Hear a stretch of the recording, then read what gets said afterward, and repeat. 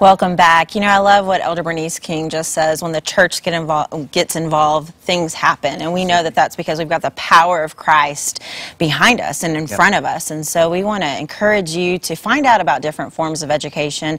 Take these tips that um, our sister Elder Rojas, who is a, a content specialist in uh, English learning, language learning, and has 20 years of, of, experience in the field of education, and take that um, and, and use those this week. Be encouraged by Dr. Johnson's challenge. We want you to remember to raise the standards as God encourages you to equip students to love the Lord with the entirety of their minds. Yep.